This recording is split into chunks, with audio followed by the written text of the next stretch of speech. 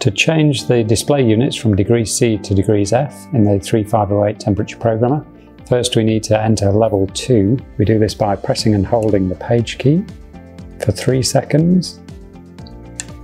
We then get access go to level 1 is displayed, the current level. We change this to level 2. A passcode is required and we enter this with the arrow keys.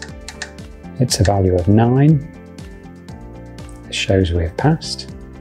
The display returns to the home display and now there are more parameters available when we press the page key. So we see output high and now units. So we can change the value from degrees C to degrees F or Kelvin.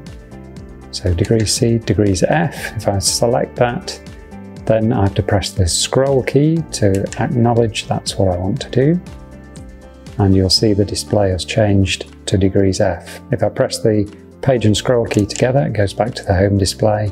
So you'll see the set point and the actual temperature showing in degrees F.